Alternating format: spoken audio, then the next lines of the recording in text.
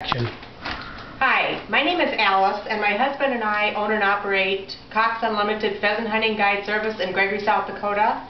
And I am going to show you how to prepare pheasant South Dakota style. I have in this bag of uh, flour, I just took 3 fourths of a cup of flour and added a tablespoon of Lawry seasoning salt, and I deboned my thighs and my breast.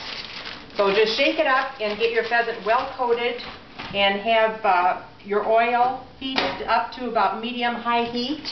And you just want to brown it good on both sides.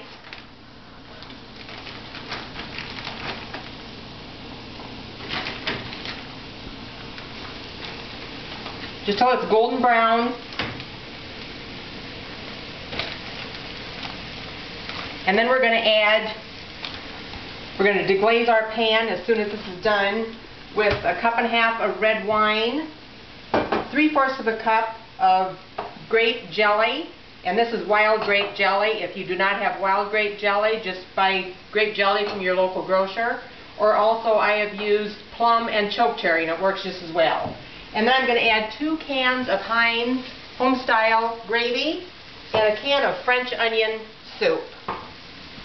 So as soon as this is brown, I'm going to add it to a baking dish that's been well greased.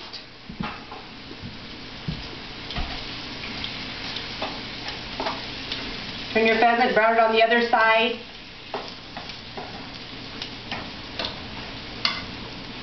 Let That cook for about another five minutes.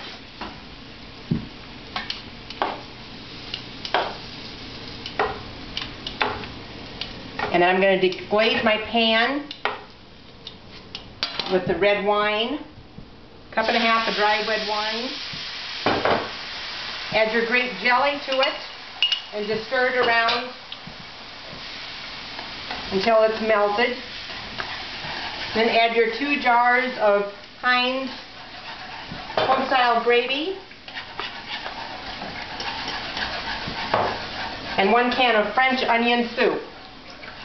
And you want this gravy nice and thick, so I've taken a tablespoon and a half of cornstarch and added it to a fourth of a cup of water and bring that to a simmer. Let it cook till it's thick. And then you dump it over your pheasant and make sure you have plenty of gravy on your bird. Pheasant is very dry, so you want it well covered and a tight fitting lid. And bake it at 325 degrees for about an hour and a half. And there you have it, pheasant, South Dakota style. Enjoy.